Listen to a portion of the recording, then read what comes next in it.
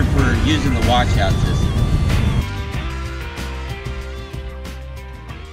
First of all, in the morning when I'm doing my pre-trip and I'm walking around the truck, a lot of times, or every day, I'll go ahead and tap this. I want to see if I've remembered to empty it the night before, okay? And when I'm on the other side, I'll go ahead and I'll look in the, the bucket that hangs on the end of the chute, you know, just to make sure I emptied it and I'm ready to go for this day. My toolbox is, uh, I carry a hammer, you can carry a screwdriver. Right here I got a piece of rebar that I picked up on the job. So for instance, if you forgot to empty this, you could go ahead and uh, take the plug out before you go to get loaded and you can go ahead and uh, you know knock a little hole in here drain out the water give it a few taps you know get it cleaned out enough to go ahead and get loaded you know then you can go ahead and clean it up better later once a week we're required to grease our rollers and our, our boosters and all the zerks and stuff and when I'm doing that what I'll do is I'll come over here and I'll pull this plug out right I'll go ahead and I'll, I'll unscrew it right in here. And see in here, I'll put a little bit of grease. When I'm greasing the rest of the truck, I'll go ahead and put it in here. This keeps this working in, you know, pretty good shape for a long time. I probably had this plug here for almost a year, right? A lot of times they'll just wear out after a couple months, you know, because they just get too dirty, right? So I make sure I put that in.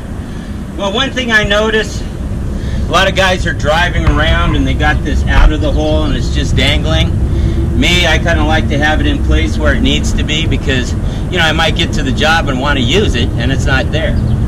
So, another thing while I'm doing the greasing, right here we got a grease zerk. Okay, you got the same type of uh, nozzle on uh, the washout bucket, which I'm going to show you in a minute. But it's the same type of setup. So what I do when I'm greasing is I'll open this up, put the grease zerk right here, and just give it a little bit of grease, right? I'll work it in. I'll put a little on my finger. And I'll put it right here. You know, and I'll work that in. So, you know, that's greased up, ready to go. You know, and I'll do the other one also.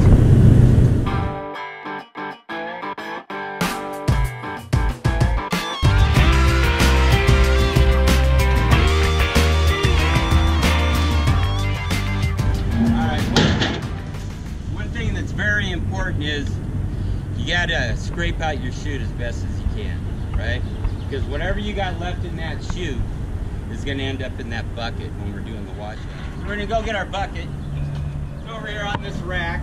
You know, when you're doing your pre-trip, you're gonna wanna look at it, make sure the bungee's still there, right? You know, and it's not frayed or anything like that. And another thing you wanna check, well, you'll check it every time you use it. You know, make sure this thing's not damaged. You know, sometimes they, they get old, they might get a little rusty, you know, or if it's bent or whatever, make sure uh, it's solid on the truck. You know, if you have any questions about it whatsoever, go to the shop. Okay, one thing you want to remember with these buckets, you know, make sure they're not leaking after you fill them with the liquid and stuff. You know, if there's any liquid coming out onto the ground, you know, when you get back, go to the shop, have them fix it. You know, a lot of times if you're just on a regular job site, it might not be that big a deal, but the next job, you might be at the airport. Okay, this part right here, it doesn't matter if you have just one chute on or you got three chutes on. Same technique. I don't put the hose on yet. What I do here is I go ahead and I just clean out the chutes. And what I want to do is use the least amount of water possible. You know, because we're going to have to pick this up afterwards right here, right? So we finish washing out. So I always try to use the least amount of water possible. And I get it wet, I'll rub on it, and rinse it down, right? Whether it's one chute, two chutes, three chutes, right? Just hang it on the end. You're to do all three chutes. I got these rinsed out. Make sure you pick this up right, okay? Now, if you're doing it right, there should only be about this much water in here. You know, it shouldn't be too heavy. Take it off. Go ahead set it down.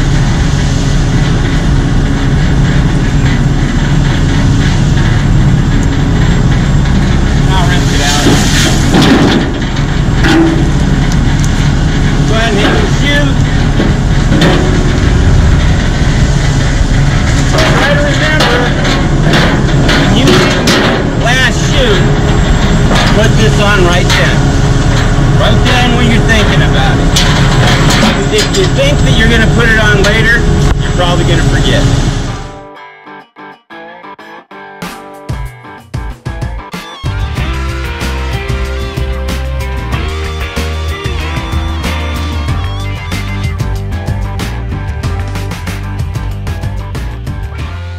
So, come over here. This is why I don't want a lot of water concrete in here. I'll pick this up, put it on. Alright.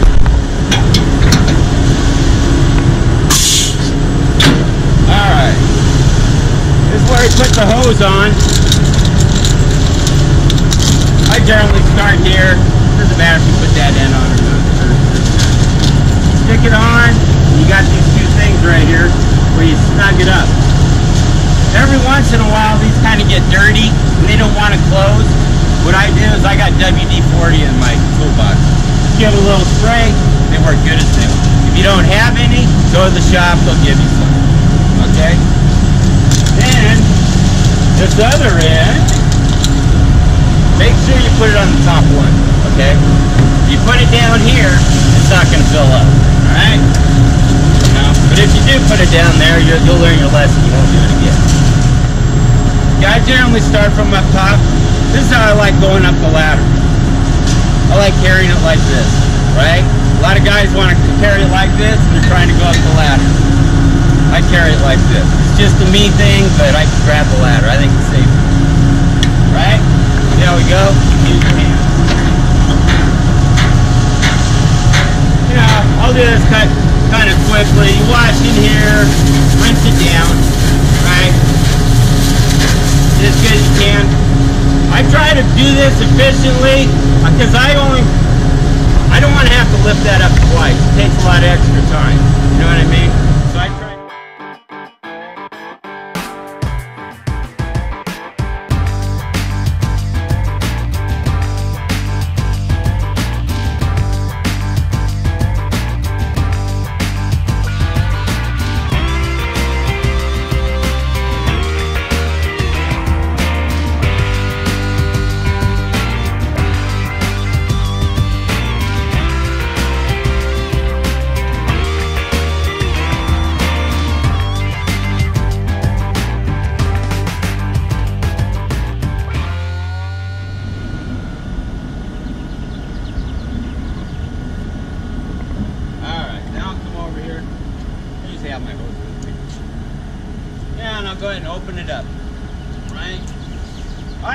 It works a little better if I kind of take some slack out of it a little bit.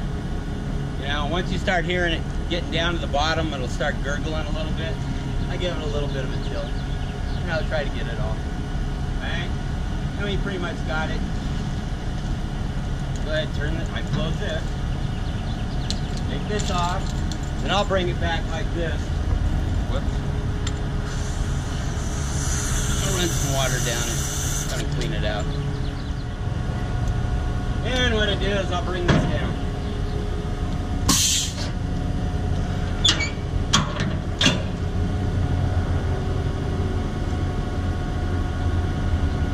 So this here is a good example now why you want to make sure that you scraped it good, you know, when you left the customer because right now this would be heavy. Because I'm going to tell you something. If this is this full of concrete, it is heavy, and you won't do it again probably. Okay. So make sure you pick it up good. You know, depending on what job you're on, you got to size up the job. You know, a lot of jobs it's real construction-y. They got piles of remnants and concrete and stuff like that.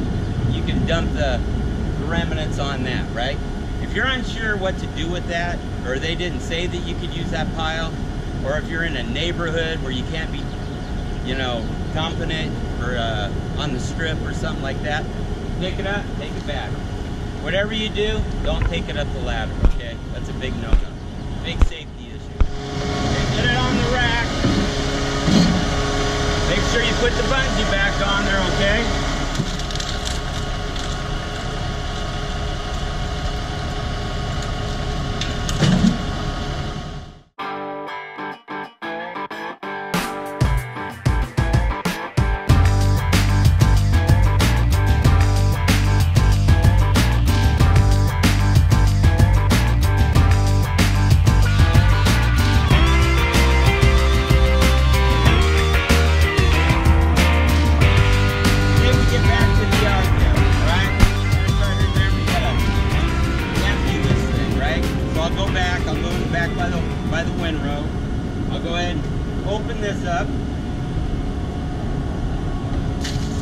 Right, let that drain. I'll take the lid off. If you don't have a lid, get a lid, okay? Try to keep all your stuff maintained. Now then I'll take my uh, hose, rinse it out, get it out as best as you can. Alright? So a lot of this is, you know, it's customer service and safety. You know, you want all your stuff to work right. You know, when you get on the job site, you don't want to be leaking all over the place. You want everything to work. You know, it just makes us look better.